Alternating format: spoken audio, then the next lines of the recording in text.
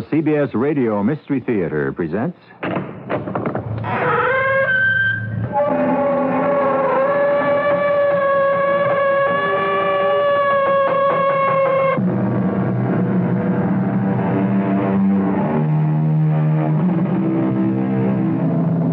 Come in.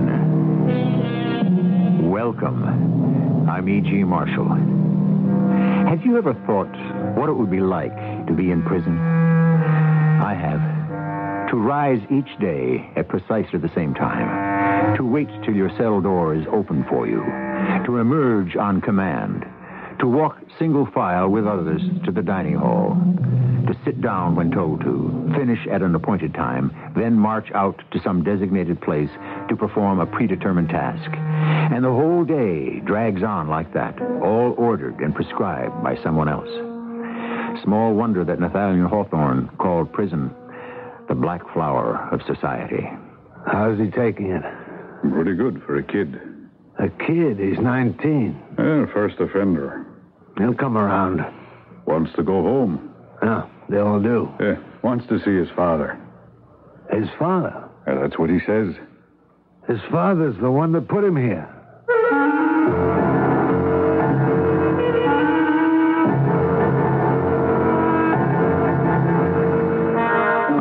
Mystery drama, The Apparition, was written especially for the Mystery Theater by Elspeth Eric and stars Kristoffer Tabori and Marian Seldes. I'll be back shortly with Act One.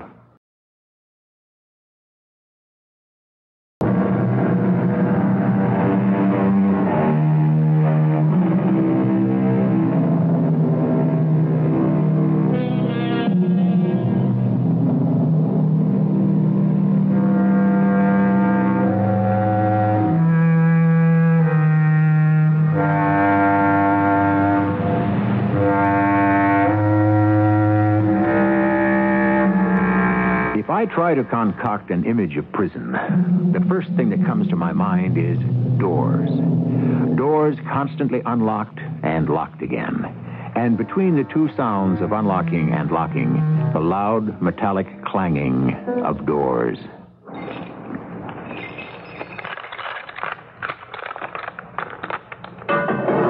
Your mother's here. Oh, In the visitor's room. sure.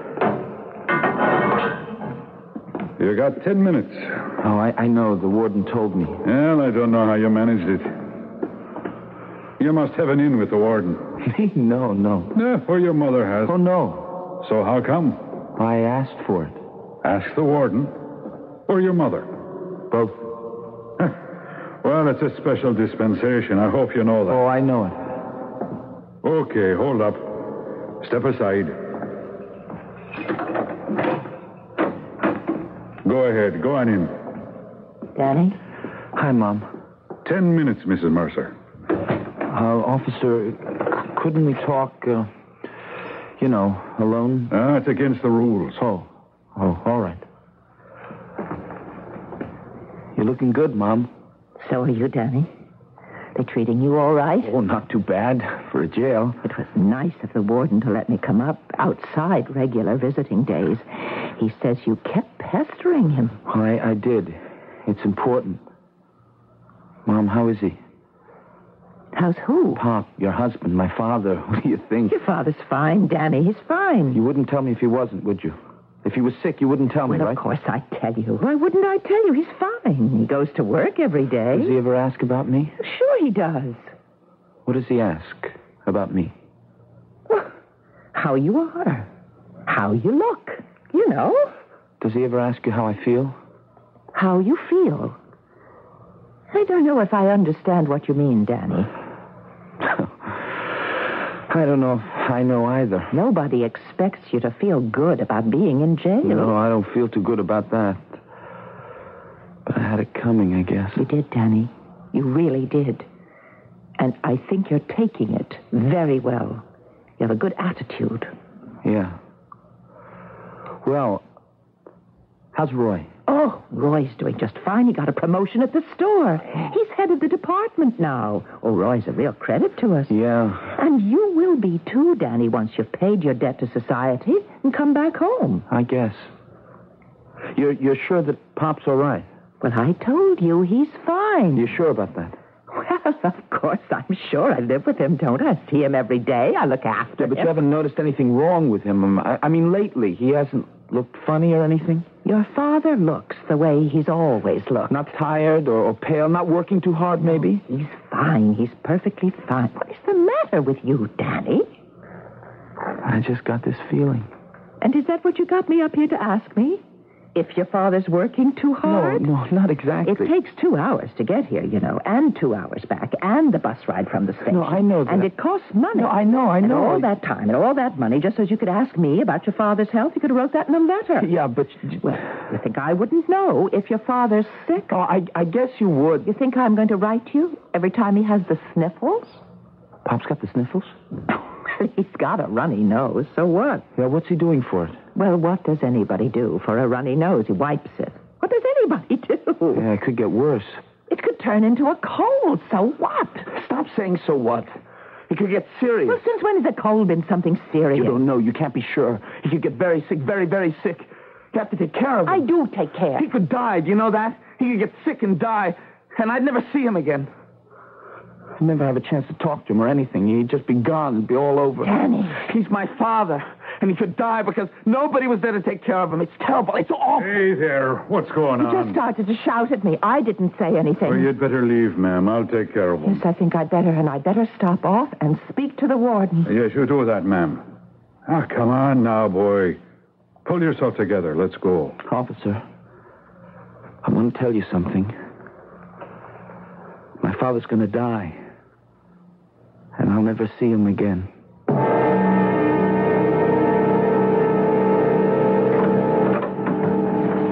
In, Mrs. Mercer. Thank you, Mr. Uh, Uh, Davola, ma'am. Mr. Devola. The, um, the the man, uh, the one that brought my son in, uh, uh, down there in the visitors' room. Uh, Correction Officer Quinn. Yes, he said it would be all right if I asked to see you. Come right over here and sit down. Thank you. Thank you very much, Mr. Devola. Now, what can I do for you? Well, first of all, Mr. Devola, I want to thank you for letting me see Danny outside regular visiting days. It's very nice of you, and I want to express my appreciation. Well, your son was very insistent. I know. I know, and I don't know why. He didn't tell you? No. Didn't he tell you? He just kept insisting that it was very important. Yeah, he's such a kid, nice kid. This is his first stretch in jail, so. Well, it was very nice of you. And I hope it was worth it. You mean you think maybe it wasn't? Well, of course it was nice seeing my son. I thought he looked really good. But it's a long trip for me here, two hours each way, and the bus, and it costs money. I'm glad to do it, naturally, but I just don't know what this trip was for unless. Yes. Unless what? Mr. Devola, I'm not sure Danny is quite right in the head. Really? I don't mean he's crazy or anything like that. I've never seen any signs of Danny being unbalanced. Well, is it all right if I tell you what he wanted to see me about? Yes, I wish you would. He wanted to know if his father was all right. And near as I could make out, that's all he wanted. He just wanted to know his father wasn't sick.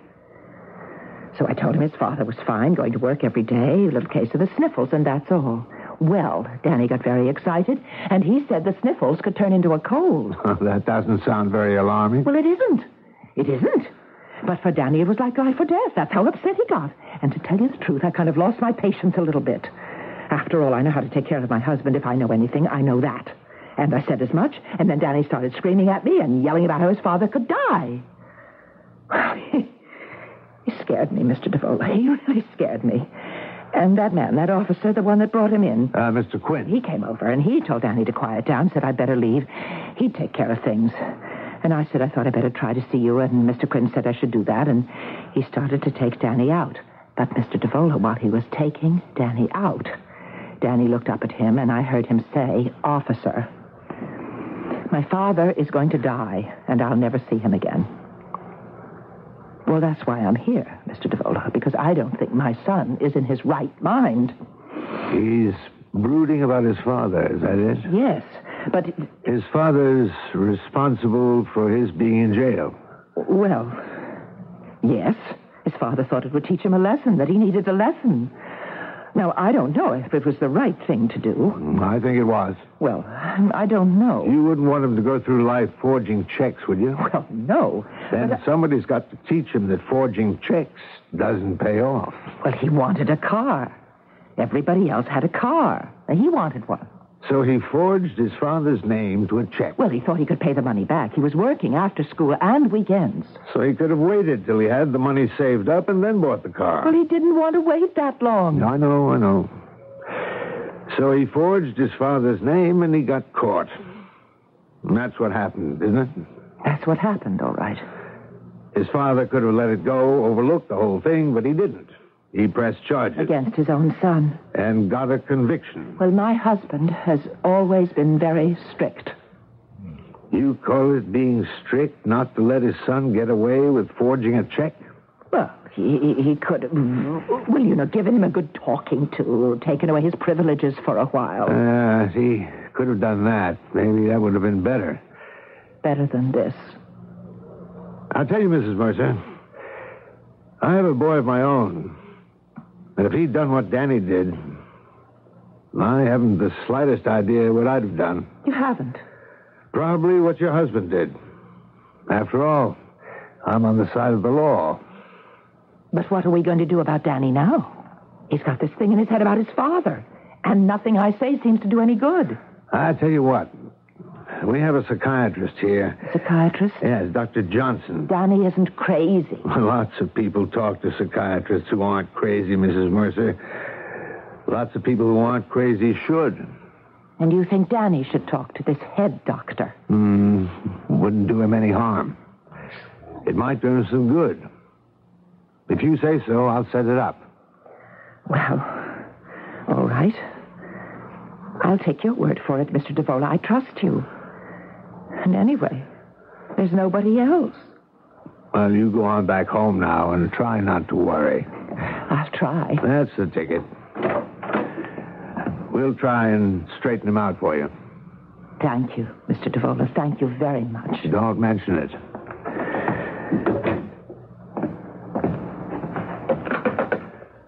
Uh, get me Dr. Johnson. Yeah, thanks. Johnson, this Warden DeVole, Doctor. Will you try and get around to seeing Danny Mercer? Number 378572. He's only 19, first offender. Forged his father's name to a check to buy a car.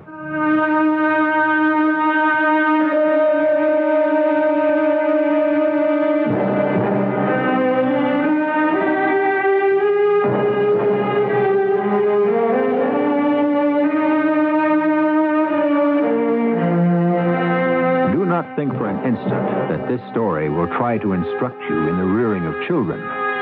The precarious balance parents should strike between permissiveness and discipline. No one, least of all myself, has enough knowledge for that. No, this is the simple story of a young man who signed his father's name to a check. Though perhaps it's not quite so simple as all that. After all, its title is The Apparition. I'll be back shortly with Act Two.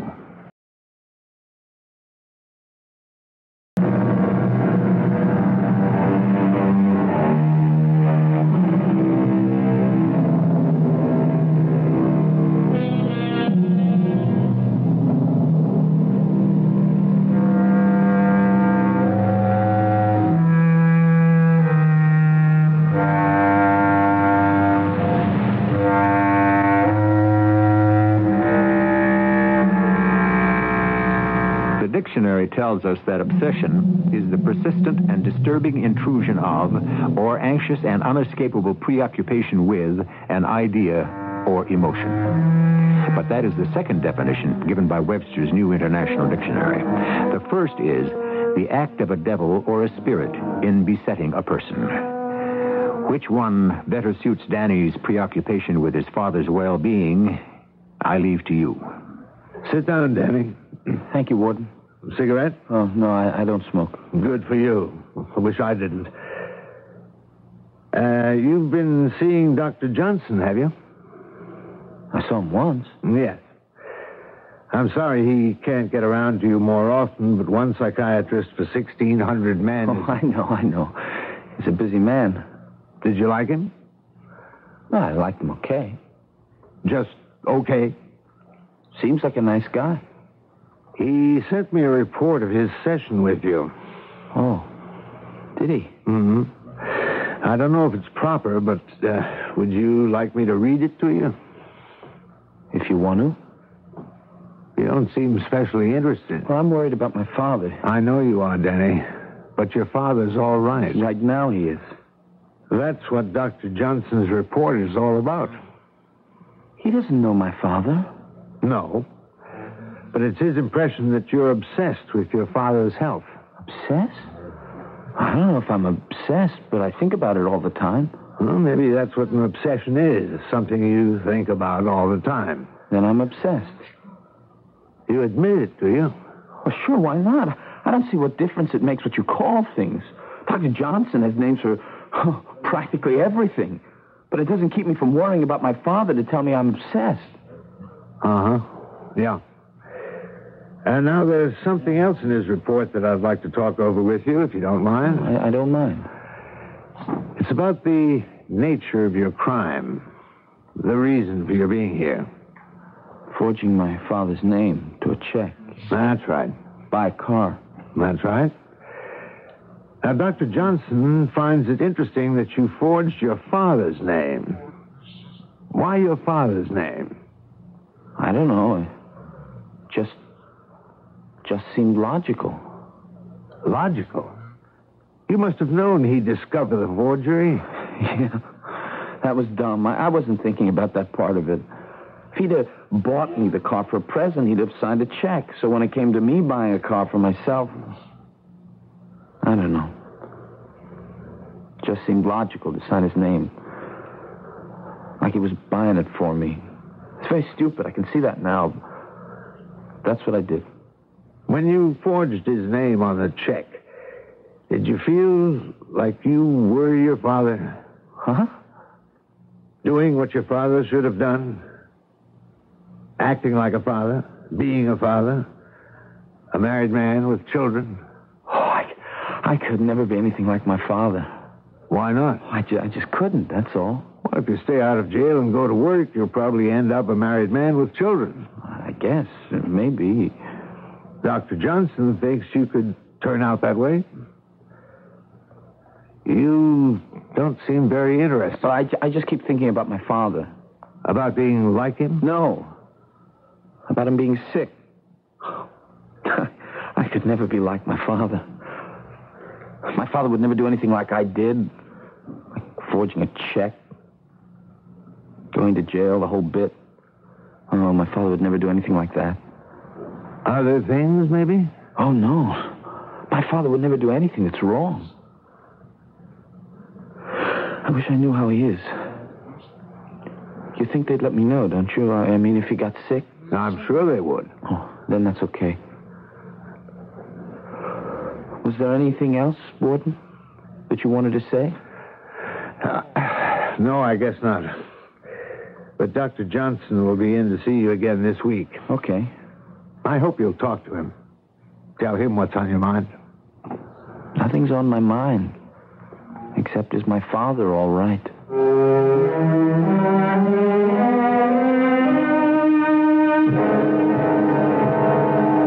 You wanted to see me, Warden. I, Uh, yeah. Uh, got a few minutes, Quinn? Well, sure. I have here another report from Dr. Johnson on young Danny Mercer. Uh, you know anything about Danny's brother? Well, name's Roy. That's about as much as I know about him. He's older than Danny by about ten years. Oh? Well, Danny doesn't hardly ever mention him. Oh? Well, then maybe I was wrong. Or Johnson was.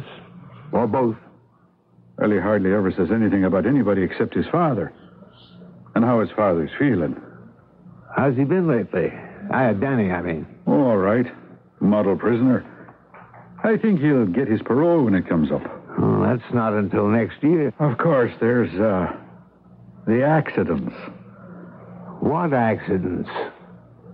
Nobody told me about any accidents. Well, they weren't anything serious.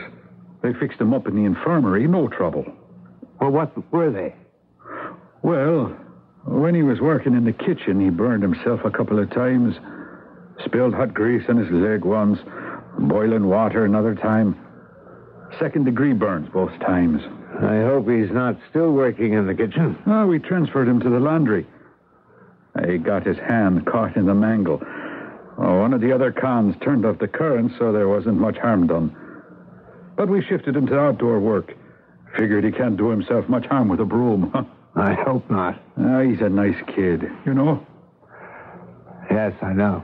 I wish my son worried that much about me. Johnson says something here about guilt feelings. Well, that stuff is way over my head. Mine, too. This was Johnson's idea, not mine. Uh, what idea was that? To suggest Danny's brother coming up here to see him. Maybe talk him out of this, this obsession he has about his father. Being so much older, Johnson thought maybe he could convince him his father's okay. Well, his mother couldn't, and she's a lot older than either of them. Also, she thinks he's a little, well, you know, unhinged. Well, maybe he is. A little. Well, anyway, I made the suggestion to the mother, and she thought it was a good idea. Okay, as far as she was concerned. And she talked to the brother, and, well, the upshot of all that is that he's coming. Oh? Well, that's good, I guess. Well, well, who knows about these things? Not me. It's not exactly my area of expertise either. But Dr. Johnson thinks it might be a good idea, so the brother's coming. And that's why I wanted to talk to you. To me? It seems the brother, uh, what's his name? Roy. Oh, yeah. He can't get here until around seven, a little after. What with the bus and all. Ah, so you want me to wait around until he gets here? I know you like to get home and have dinner with your wife. Well, I'll call her. I hope she understands. She's pretty good at understanding. And I've talked to her about Danny a little bit. Oh, you have? Yes, she's very sympathetic. Well, women, you know. As a matter of fact, she said to ask you if I could uh, bring him home for dinner some night. Are you asking me? Uh, well, not just yet. Let's wait and see how he makes out with his brother. How his brother makes out with him is what I mean, I guess. Right. Now, Roy should get here by a little after seven. Allow him 20 minutes, half an hour with Danny, then terminate it. Okay? Okay.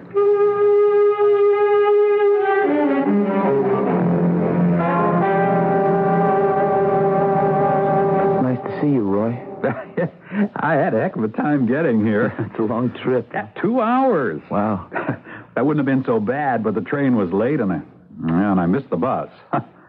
Had to wait for the next one. Yeah, sorry about that. Hey, uh, who's that guy standing over there uh, in the uniform? Oh, that's Mr. Quinn, What is he? A guard or something? a correction officer. That's what they call them. Oh. well, good to see you, old buddy. Oh, it's good to see you.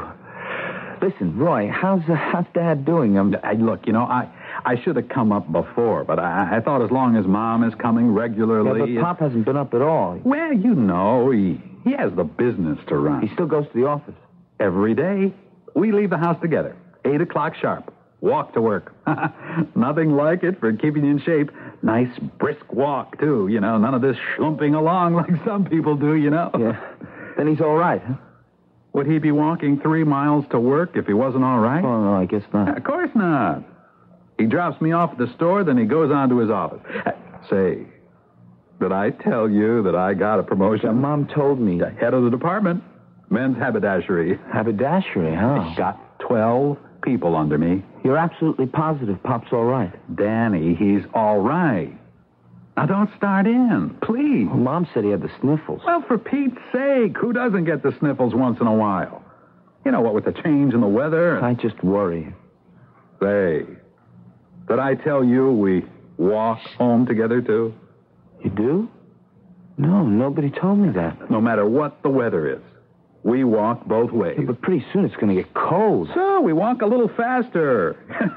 now keep the old circulation going. Yeah, but pretty soon it's going to start snowing. Now what? What's a little snow? Good for you. yeah, you. for you maybe it's good, but Pop's not a young man. Now listen, Danny, don't start in with that stuff. It darn near drove Mom up the wall when she was here.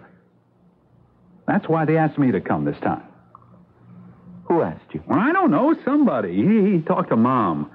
I didn't talk to him myself personally. Probably Mr. Devola.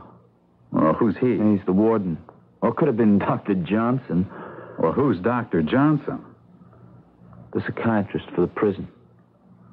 They got you going to a shrink? I've only seen him a few times. He says I've got an obsession about Pop, about his health. I guess he's right. That's what I got. Well, get rid of it. I can't. What do you mean? You can't. I can't get rid of it. Stays with me all the time. Listen, it's all a matter of willpower. Just say to yourself, I'm going to get rid of this thing, and you'll get rid of it. I don't know if I can. You know, I'm a great believer in willpower. I don't even know if I want to. Uh, There. There, you see? You don't want to. That's your trouble. You don't want to. I mean, if you wanted to, you'd get rid of it. But you don't want to. Now, you want to hang on to it. Roy, will you give me your sacred word of honor that Pop's all right? Look, he's fine. He's fine. How many times do I have to tell You you? wouldn't lie to me. Look, will it make you happy if he comes up to see you? Would he do that? Yeah, I think he would. Oh, yes. It'd be good if he'd do that. Okay. Okay, I'll tell him. Soon as he gets over his cold, he'll hop on a train He's and. cold. He's got a cold?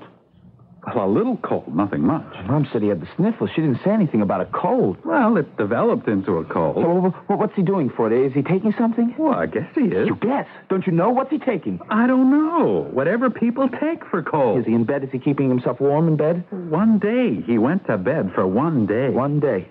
Well, now he's up and around again. Listen, I'm sorry I mentioned Nobody it. tells me these things. Listen, you make him get back to bed. You tell him to stay there till he gets well, completely well. Danny, take it Because easy. if you don't tell him, you tell him I said he should. Because if he doesn't, he's going to die. You hear me? He's going to die. Can't you get that through your head? G- guard, uh, officer, get him away from me. Get him away.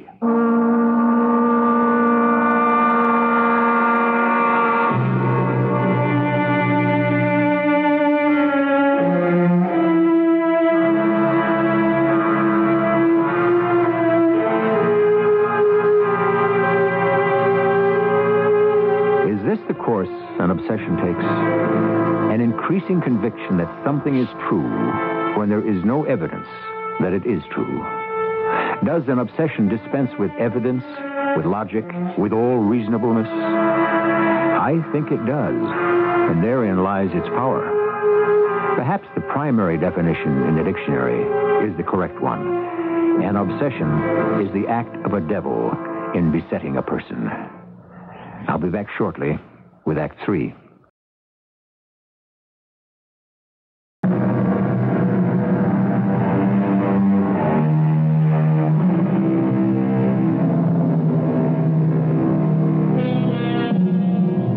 Take it for granted that the parent is concerned for the child when the two are separated for whatever reason.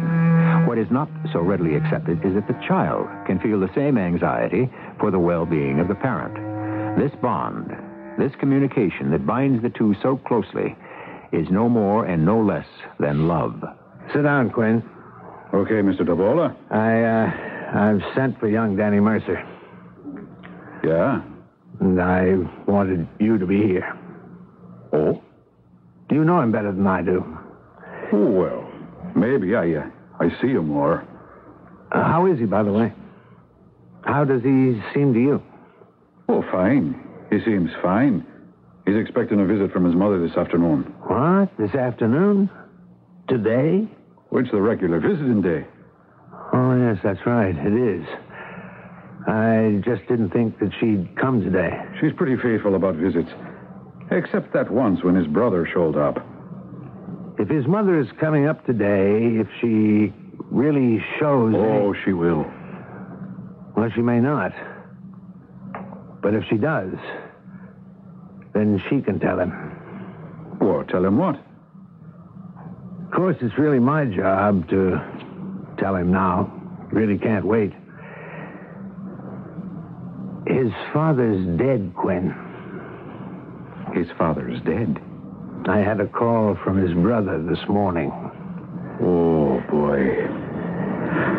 Oh, that's going to be tough. Yeah, that's why I wanted you to be here. I've got no way of telling how he'll take it. Well, I don't either. Seems his father had this cold. Then it went into bronchitis, and he kept on going to work and all, and seems he had this pneumonia for a couple of days before he let them put him to bed. Oh, I've heard of that. Ambulatory pneumonia, they call it. He was a tough old guy, I gather. Well, he put his own son in jail. They ought to be tough to do something like that. Ah, ah, that's him. Probably. Stick around now. Oh, I will, Warren. Don't worry. Come in. You wanted to see me, Warden? Uh, yes, I, I did, Danny. Come on in. Of course, you know Officer Quinn. Hi there, Denny. Did I do something? No, no, no. Sit down, Denny. We, uh, uh, we have some, uh, news for you.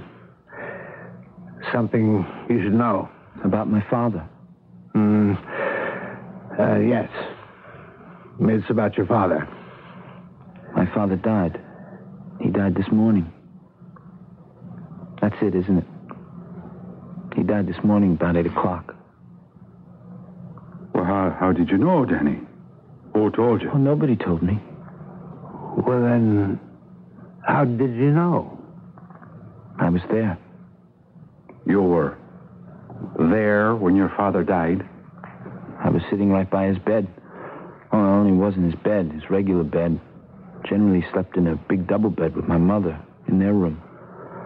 When he got so sick. They moved him into Roy's room.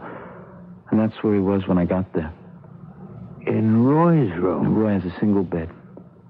Oh, I see. And that's where my father was when I walked in. I see. Is there anything else you want to tell us, Denny? Well, uh, it's a little bed, but then Roy's room is kind of a little room. Uh huh. But it has two windows in it.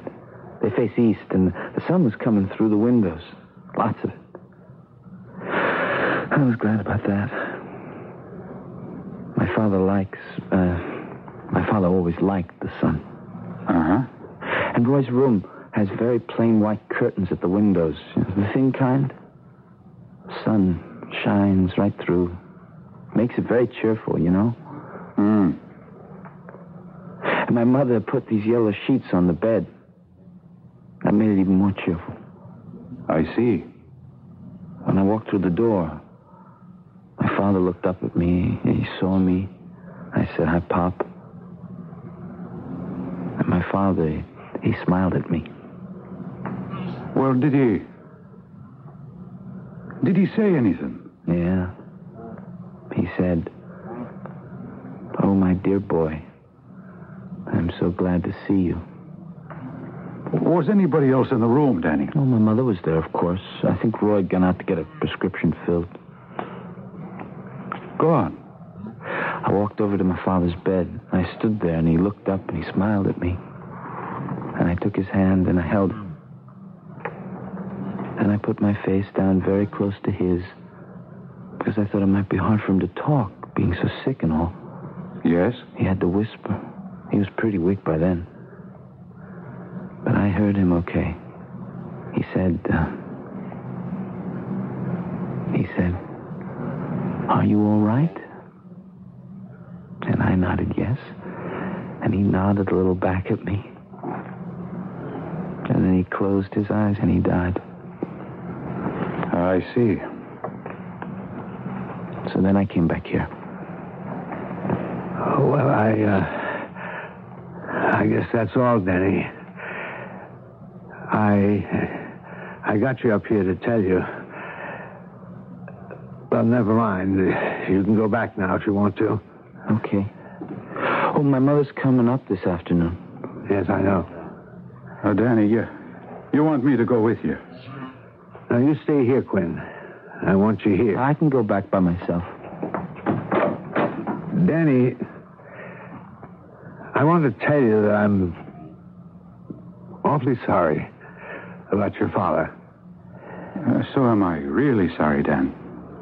I. I knew it was going to happen. But I'm glad I was there when it did. Well, what was I supposed to say? Ah, darned if I know. I couldn't think of anything. I tell you what. When his mother gets here, don't be obvious about it. Just sort of watch her face. You know what I mean? Well, I think so. And if she looks, you know, perturbed, upset or anything, well, then you might step in and. Uh, and what? Well, heck, I don't know. Tell her what happened here in this office. Tell her the boy's hallucinating or whatever it is he's doing. Well, maybe he won't do it with her. Hallucinate or whatever. Hell, maybe it was just this one time. Maybe he'll have come to by the time he sees her. Maybe. I hope so. Anyway, after she leaves, no matter what happens or doesn't happen, I want you to report back to me. Understand? Got it. Then I'll decide if I should call in Dr. Johnson. I can't think of anything better to do. Can you?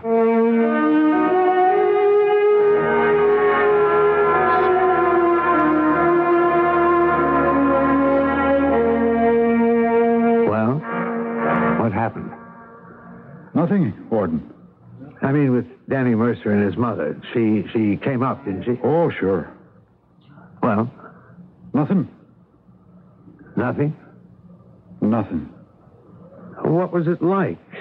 Well, you were there, weren't you? Oh, yeah, I was there. Well, what happened? Nothing happened. I took him into the visitor's room, and they talked. You think she told him his father died? She must have. Well, I guess she did. I couldn't tell. I couldn't hear anything either one of them said, even if I tried, which I didn't. I couldn't have. They were both very quiet, very controlled. Nobody cried or carried on or anything. They just talked. She stayed the whole hour. Well, then she left, and I took him back. And that's all? That's all. Oh, except one thing. Uh, Danny said, Did I think you'd let him go home for his father's funeral? It's day after tomorrow. Well, of course he can go to his own father's funeral. I told him I was sure he could. Well, what do we do now? Nothing, maybe. Who is it? Mrs. Mercer. Danny's mother. I thought you said she left. Well, she did. Come in. Oh, Mr. DeVoe, I. Uh, come in, come in, But you're Mrs. busy. Mercer. I didn't know that Mr. Quinn was with you. Well, that's all right. I could wait. No, no, no. Sit down, Mrs. Mercer. I've been wanting to talk to you. Uh, take this chair, Mrs. Mercer. Thank you. I I got all the way to the bus, and then I remembered you must have thought me terribly ungrateful, Mr. Tavola, Ungrateful? Why should you be grateful to me? for letting Danny come home. Oh, you mean for the funeral? Well, of course he can go home. Oh, that's good. Danny said he'd ask about it. No, I wanted to thank you for letting Danny come home this morning. It meant a lot to him to see his father before he died. And I think it meant a lot to his father, too. Everything happened so quickly. Yes, your son told me. On the phone, your other son. Oh, Roy told you all about it, did he? He didn't tell me Danny was there. Oh, but Roy was out of the house at the time. My husband and I were alone in the room. And Danny just appeared in the doorway. My husband looked up, and there he was.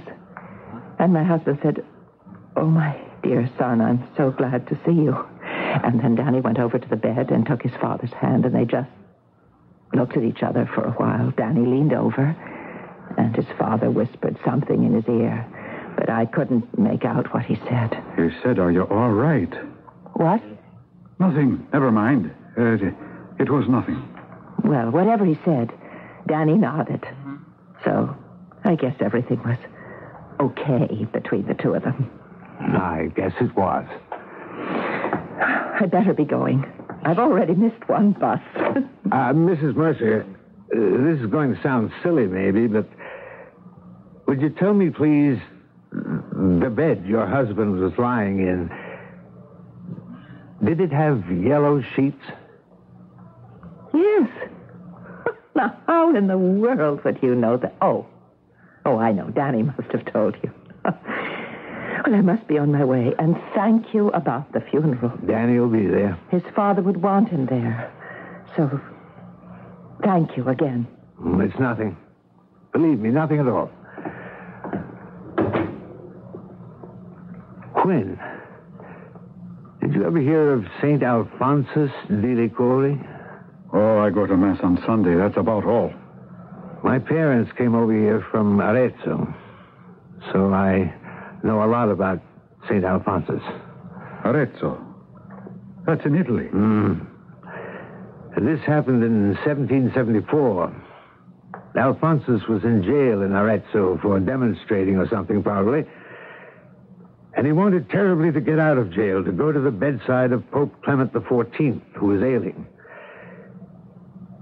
He woke up after a five day fast and told everybody that he'd been there when the Pope died. He dreamed it. If that's what you want to think. But he described the whole thing who'd been there, cardinals, bishops. He knew what the room looked like the bed, the carpet, the draperies. And everything was absolutely accurate. The cardinals confirmed it. And some of them said they'd seen Alphonsus there, standing by the bedside of the Pope.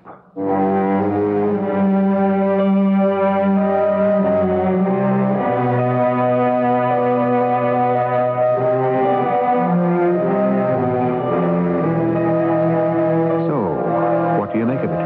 Alphonsus of Liguori was later canonized, declared a saint, and his appearance at the bedside of a dying pope while simultaneously imprisoned in Arezzo may be the miracle, or one of them, that earned him that distinction. But what of Danny Mercer? What of him? I'll be back shortly.